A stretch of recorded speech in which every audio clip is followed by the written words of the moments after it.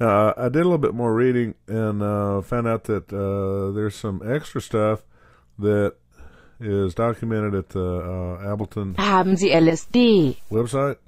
Uh, you can create a special file called options.txt, and that goes in a hidden folder. And there's instructions on how to access uh, hidden folders on Windows and Mac OS X at the uh, Ableton. Dot com website and uh, two things you can put in uh, if you don't want uh, Ableton Live to work as a rewire master uh, or host controller, then uh, you can put in an option rewire master off. And uh, so I tried that, and that doesn't prevent it from running as a slave. And so, you know, I left it in for the time being. I think that's what it does, but you know, it's hard to guess. Uh, also, you can specify the number of rewire channels. The default is 16, uh, minimum is zero, and max is 64. So I put it at 64, and uh, so that's kind of the way that works. And um, Für erfahrene Anwender. I said the way you get to it on the Mac is you uh, go up here to this uh, Go window in Finder, and you click on it, and then uh, there's a folder in there called Library. Except you don't see it unless you push the Option Alt button, which is a, a single button on the Mac. It has has two names, but it's just one button. And when you do that, yeah, yeah, you said library showed up. So that's kind of cool. Yeah. And then you, you click on library and then you find preferences. Ist dies der Weg zu uns? Yeah. Uh, and then you click on uh, preferences and you find out that uh, there's a Ableton folder and down here it's the options.txt file. And you know it's a, it's the right folder because uh, preferences.cfg is also in that same folder. It's the live 9.0.1, and uh, this is what options.txt looks like. Uh, it's got two entries right now: dash rewire channels equals 64 dash rewire master off. The rewire master off is probably uh, I don't know if you need that, but uh, I think what it does is it uh, tells Ableton Live 9 uh, not to run as a rewire host controller, only to run as a slave.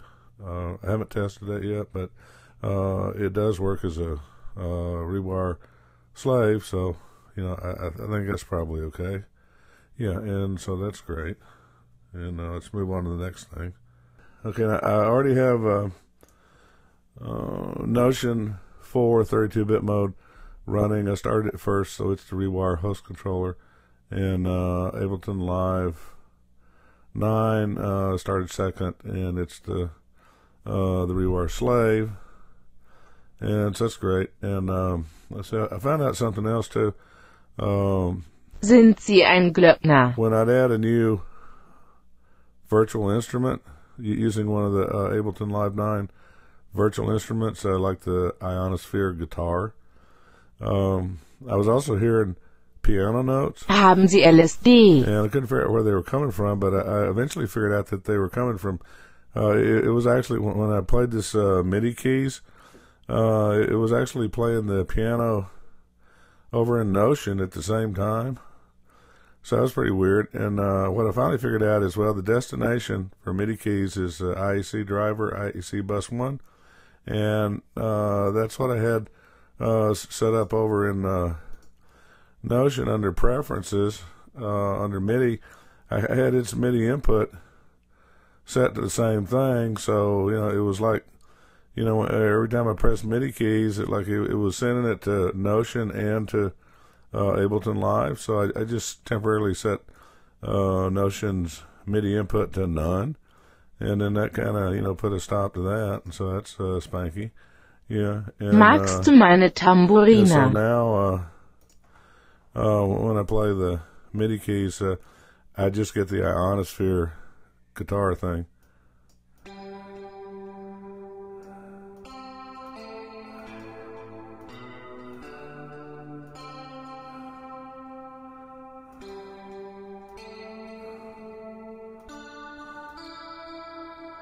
Yeah, so that's kind of neat. And then uh, let's see. Uh, I don't know if I figured out a lot more stuff, but um, Ist dies der Weg zu let's see. Uh, Sie haben ein großes Saxophon. this little red button's important if you're going to record, and um, these little square buttons. Uh, that's it if you want to hear the tracks. Now, I, I want to hear these two. Uh, want to hear all the stuff, so I've got them all going, and uh, let's, I think I've got this selected. Yeah, that's selected, and so I'm gonna uh, go over here to Notion. I'm gonna back it up, start uh, yeah, set it on the first beat of the first measure, and then gonna switch back over here to uh, Ableton Live, and I'm gonna let's see. Uh, okay, I got this little guy here. This clip selected. I'm gonna press record in Ableton Live, and I'll press record here. Now I'm recording.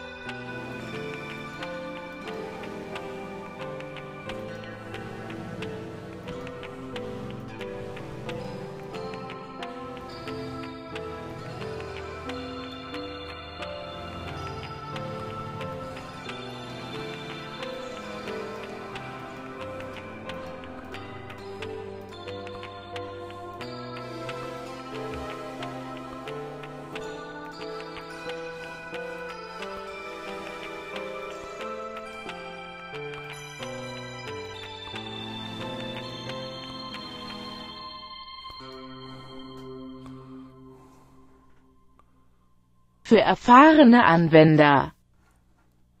Oh, okay, so that's great.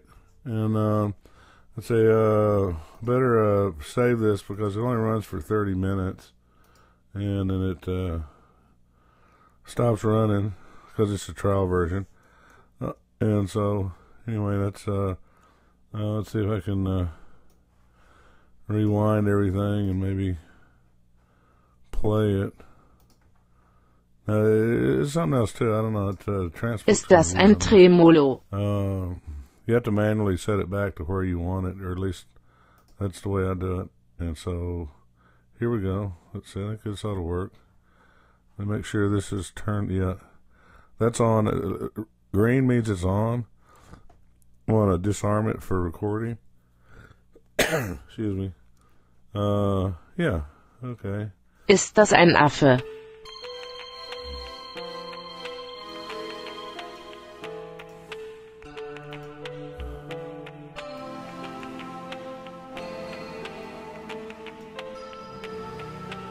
Sind Sie ein Mensch?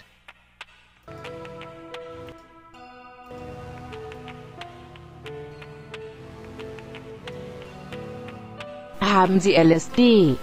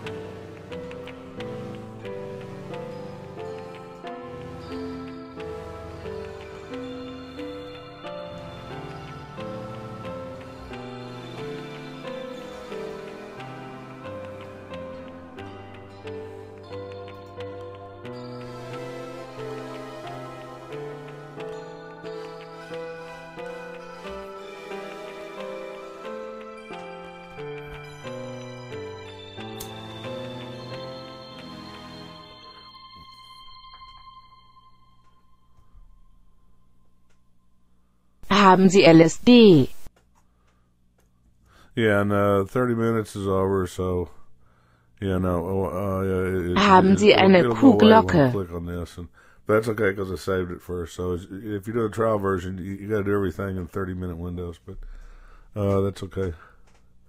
So anyway, that's what I found out, and uh, it's starting to make a little more sense. And uh, looks to me like it works pretty good on the Mac. You know. Okay. Thanks.